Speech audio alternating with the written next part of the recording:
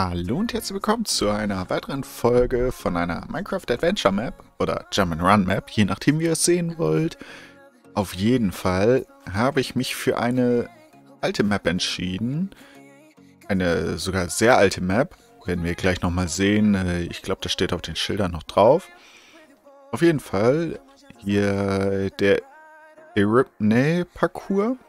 Ich hoffe, ich habe es richtig ausgesprochen. Und äh, ja, Version 3.9. Gucken wir uns erst einmal kurz die Regeln an. Also ich glaube, so ein bisschen was kann man mittlerweile dadurch machen, dass wir hier überhaupt im Adventure Mode sind oder das System mittlerweile gibt. Also, wir dürfen keine Blöcke platzieren und keine Blöcke kaputt machen. Wir sollen immer ihm äh, dienen oder ihm gehorchen. Mal schauen, ob wir es machen. Wir dürfen nicht von einer Stage zu einer anderen Stage rüberspringen. Genau das gleiche auch von einer Challenge zu einer anderen. Schauen, was damit nochmal genau gemeint ist, aber wir bleiben einfach auf unserem Parcours. Ist, denke ich mal, recht simpel. Äh, die ganzen Challenges können wir in irgendeiner beliebigen Reihenfolge spielen, je nachdem wie wir wollen. Auf Peaceful spielen. Äh, das glaube ich... Oh, jetzt auf jeden Fall. Äh, wir können alle passiven Mobs töten, die im Weg sind. Die Helligkeit auf hell stellen. Es sei denn, es wird uns anders gesagt. Habe ich eh eigentlich immer auf hell. Ähm, manche Challenges, da darf man nicht äh, Sprintjumpen. Und es wird uns gesagt, wenn wir es nicht dürfen. Hier geht es ja nochmal weiter. Äh, Geht das hier jetzt so hoch runter? Also, auf jeden Fall jedes Mal, wenn wir eine Challenge äh, abschließen, kriegen wir eine Belohnung.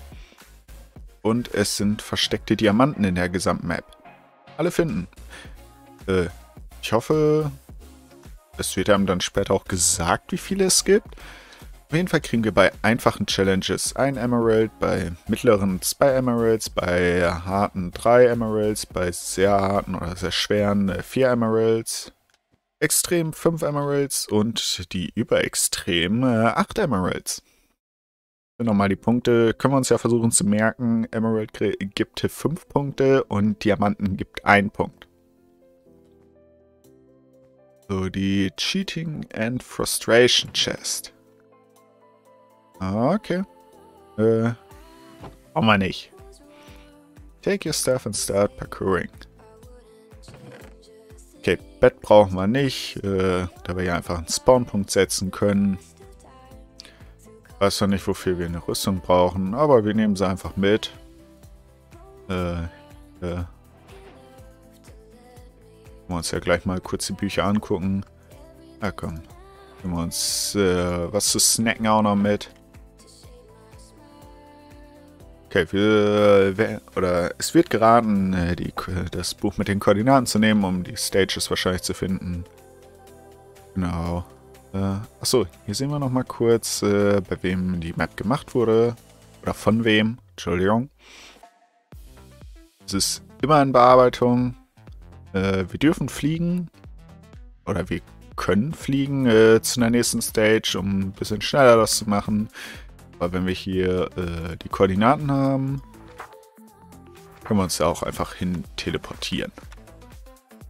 It's Peanut Butter Jelly Time. Ja. Okay, scheinbar gibt es aktuell 47 Challenges. Oder die 48. ist auch da, aber er hatte nur keine Koordinaten reingeschrieben. Okay. Hm. Okay, jede Challenge hat 2 bis äh, 15 Stages. Hier sind nochmal die Punkte. Genau, hier seht ihr übrigens, äh, dass es gestartet wurde am 6. November 2011 um 17.50 Uhr. Finde ich cool, dass eine Uhrzeit dabei steht. Äh, aber auf jeden Fall ist schon ein paar Jährchen her. äh, genau, dann sehen wir hier mal 259 Stages und scheinbar 50 Challenges. Äh, wollen wir einmal noch mal kurz in die Bücher hier reingucken. Die Challenge.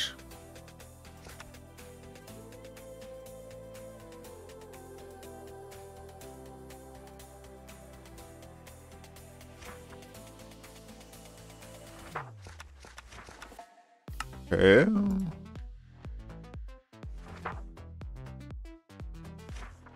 Hier stehen nochmal so Infos zu den einzelnen äh, Stages.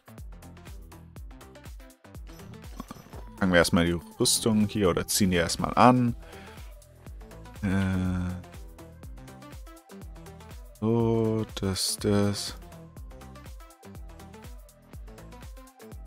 Äh, warte mal. Äh, steht wahrscheinlich nochmal genau das gleiche wieder hinten.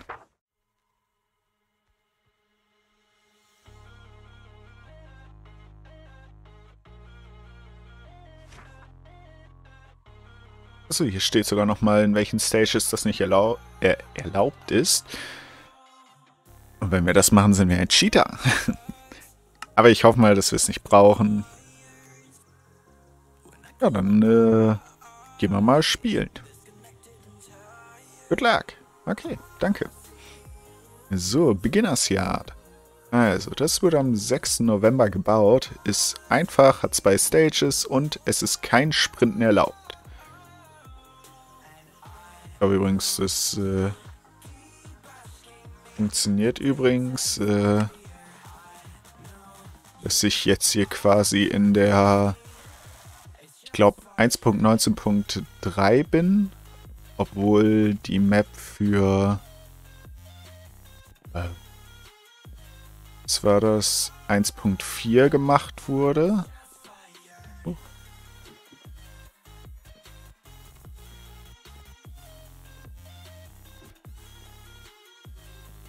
Also, mein Finger ist die ganze Zeit äh, drauf, da, dass ich sprinte. Aber wir halten uns dran. Ist nichts zu machen. Okay. Drücken wir mal. Der Schalter sieht ja cool aus. Sneaky may help you here. Ach, brauchen wir nicht. Sind ja Profis. Huch. Oh.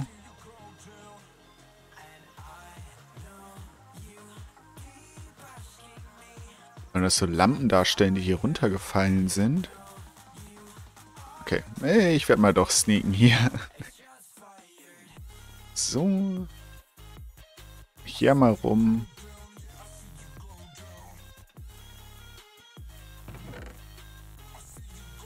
Spinnweben nehmen wir trotzdem mit.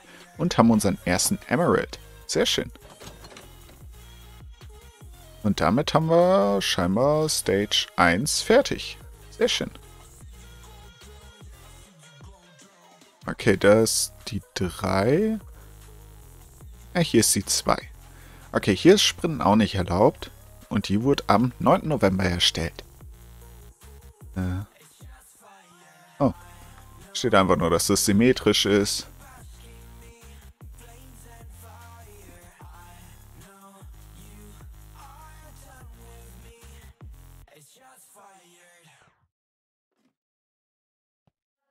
Mal gespannt, ob wir überhaupt irgendwo einen Diamanten finden. Ich meine, ich versuche natürlich darauf zu achten. Aber ich werde für nichts garantieren. Es ist... Also, ich finde das gar nicht so einfach, nicht äh, permanent auf die Sprinten-Taste zu drücken. Ich meine, wir kommen hier ja eigentlich gerade echt clean durch. Okay. So, hier wird man einfach von außen dran kommen.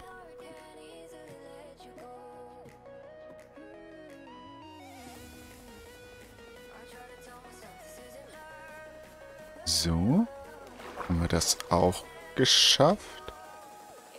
Ich versuche einfach, äh, ja, Stage für Stage zu machen und nicht einfach hier random die Stages zu machen, weil sonst verliere ich einfach irgendwann den Überblick. Und das wollen wir ja nicht. Ich wollte gerade sagen. So, Up and Down 2. So, immer dran denken, bei so einer Leiter immer äh, Sneaken drücken.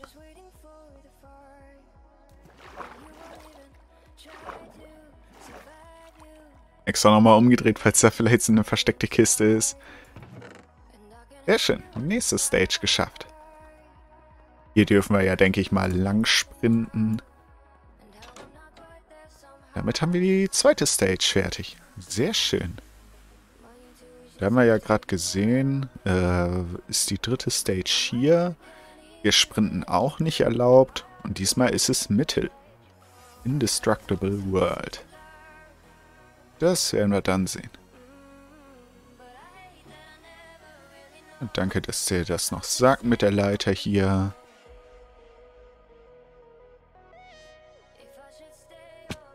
Oh, zack.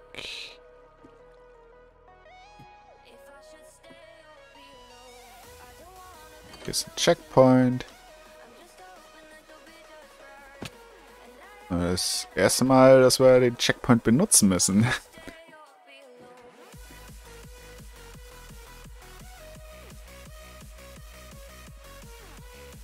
Sprung kam mir gerade auch ziemlich weit vor.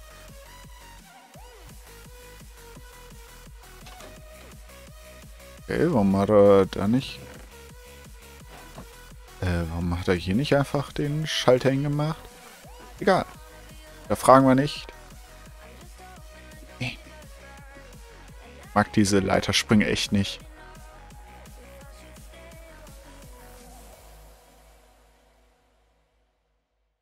Jetzt ist die Frage, ob es da noch einen versteckten Diamanten gibt. Ansonsten finde ich es erstmal nett. Okay, äh, gibt scheinbar keinen Diamanten. Dann springen wir hier runter. Aber hier. Ja, so im Wasser, das ist mal ein gutes Versteck für solche Kisten. Sehr schön, und damit haben wir die äh, dritte Challenge fertig. So, jetzt müssen wir mal gucken, wo ist die 4? Ich denke mal, hier geht's weiter, oder? Ja. Oh, hier ist immer noch kein Sprinten erlaubt. Oh Gott. Oh, Glas. Das muss man erstmal sehen können. Und äh, ganz wichtig, nicht hier reinfallen. Aber ich denke, wir sind ja quasi Profis durch die letzten Jump-and-Run-Maps. Und darum schaffen wir das einfach ganz easy. Perfekt. Mal noch gucken, ob man nicht doch irgendwo einen Diamante liegen lassen hat.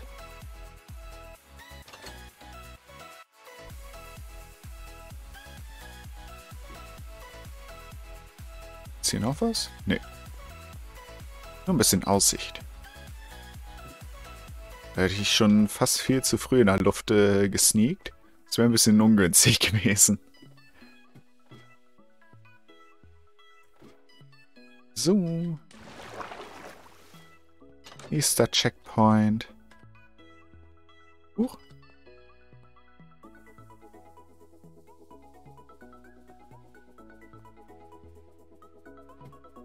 Äh, hier? Ne, hier. Lieber nochmal ein, zwei Mal hin und her gucken, bevor man falsch springt.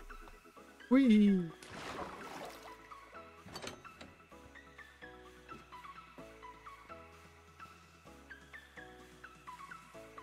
Ich dachte mir nämlich dieses Mal, dass ich äh, gucke, oder ich wusste zumindest noch, äh, dass das äh, eine etwas längere Karte ist. Wo auch so ein bisschen hier drumrum gebaut ist. Und dachte ich, können wir die eigentlich mal machen. Da oben sehen wir so einen riesen Tower. So, hier ist so eine quasi Hall of Fame. Müsste dann äh, Meat wahrscheinlich auch bei sein.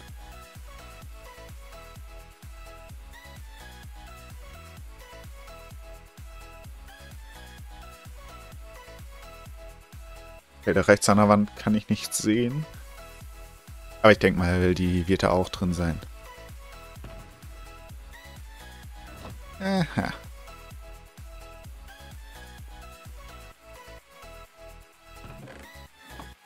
Okay, hier gibt's nichts. Ja. Ich hab's mir tatsächlich so ein bisschen gedacht. Kann, äh, kann ich einfach nur leer stehen.